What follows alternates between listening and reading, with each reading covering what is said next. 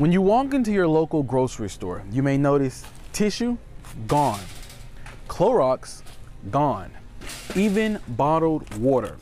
Managers I spoke with here at the Piggly Wiggly tell me these aren't the only items folks are buying. Groceries really is a overall standpoint because everybody's cooking at home now. They're not going out for dinner. Assistant manager of Piggly Wiggly, Heather Brakefield says, with a lot of panic buying going on, they try to keep their shelves stocked as much as possible. We order everything that's empty on the shelves every time we order. And so we're not guaranteed that it's going to be on our trucks, but we are ordering it. During this pandemic, Birmingham Mayor Randall Woodfin ordered a shelter in place, which means non essential businesses must close, leaving many out of work with no paycheck. We've hired several employees from restaurants in the area who have been displaced through this as to help us meet our need to service our customers. She says with the sale of bread being in high demand, the store partnered with a local bread company. While they're not able to have the bakery open to the public, that they're still able to sell their products. And to make the customer shopping experience a little safer, starting Monday, you will see a sneeze guard in every location. That just gives us an extra barrier because we can't be six feet apart to protect us from anything coming in contact with us as employees and from you as a customer. Employees and managers here at Piggly Wiggly say they are always looking for more help during these uncertain times. If you would like to know more about working here, you can download the WVTM 13 app. In Birmingham, Xavier Harris, WVTM 13. Winn-Dixie stores are creating special shopping hours for people impacted by the coronavirus. They'll be extending shopping hours from 8 till 9 Monday and Tuesday nights for healthcare providers and first responders, such valuable members of our community. They already offer a special shopping hour for seniors and high-risk customers from 7 to 8 weekday mornings. There is a national shortage of personal protective equipment for healthcare workers. The Jefferson County Department of Public Health continues to collect as much of these items as they possibly can. Some of the supplies needed N95 masks, surgical masks, gloves, and hand sanitizer. Donations are accepted weekdays at the Christian Service Mission Warehouse. That's on 3rd Avenue South in Birmingham. You can find a list of the needed items on the WVTM 13 app. They're also accepting homemade face masks and gowns. The virus has many people flocking to the lake, one of the few places that's uh, frankly still open. We stopped by Smith Lake in Winston County today where people were spending time in the water, as you see. State troopers say they've already noticed an increase in the number of accidents on the lake, and that's why they say they're focused on enforcing normal traffic rules like no speeding, no alcohol, and making sure folks wear their life jackets. It's kind of business as usual right now, just trying to make sure that, that everybody is minding the law and doing what they're supposed to do. Boaters are encouraged to follow health guidelines while out on the water. Those are practicing social distancing by keeping six feet away from others, even on a boat, and not being in gatherings of more than 10 people.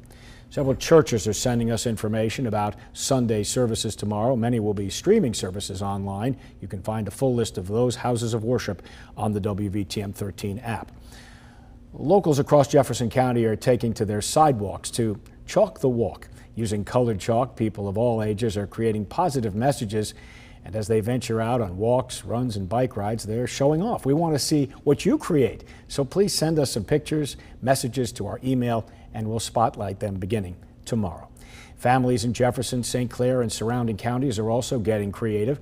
Folks are using teddy bears as signs of hope. There's one in the window. People are placing those bears in the windows, getting parents to drive or go on walks with their kids around neighborhoods looking for the cute bears. Deputy Michael Robinson with the Jefferson County Sheriff's Office got in on the act by placing bears in his patrol car. Usually every time I come on shift, I'll have my windows down as soon as I come in. Um, but when I'm monitoring traffic, I'll notice people staring, pointing, uh, and kids as well. You know, they're uh, I'll be at a red light and they pull up beside me and they're giving me a thumbs up, waving. You know, we're waving back. Little things mean a lot. Deputy Robinson says the idea started from the children's book We're Going on a Bear Hunt by Michael Rosen and Helen Oxenbury. He posts he's seen that on uh, social media as well. Really great to see, isn't it? Necessity is the mother of invention. What a fun way to stay strong, Alabama. If you're doing anything cool to keep yourself or your family entertained, send those pictures or videos to us on Facebook or email at WVTM13 at We'll share them as we get them. Make sure that download the free WVTM 13 app for the latest on the COVID 19 pandemic in our world. There you'll find the latest on that new state health order at the top of the telecast. Locations providing meals for students, testing information, and hotline numbers. The updates are on that homepage or look through the coronavirus tab. Please turn on notifications so you never miss a single alert. The Reverend Joseph Lowery, born in Alabama and sometimes called the Dean of the Civil Rights Movement, has died. WVTM 13 Xavier Harris spoke with a local civil rights activist about Lowery's dedication and hard work. It's a big loss for the entire world. In fact, after civil rights icon Reverend Joseph Lowery's family released the news of his death, many folks posted their condolences online. Former President Barack Obama saying Lowery was a giant who let so many of us stand on his shoulders.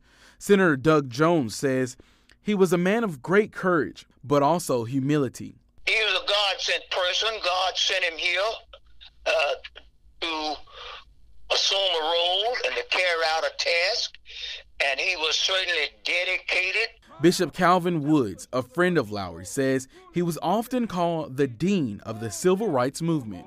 We've come to turn the cradle of the Confederacy into the crib of democracy. It's time to move. He served uh, as president of the SCLC longer than any person God permitted to serve. Wood says Lowery was a God fearing man built from a great family. He says, although he is no longer on earth, the legacy he leaves behind will never be forgotten. He stood up uh, so much against uh, injustice and segregation. Lowery was surrounded by his family when he died on Friday. A family spokesperson told us Lowery's death was not related to the coronavirus and that his family is asking for privacy. In Birmingham, Xavier Harris, WVTM 13.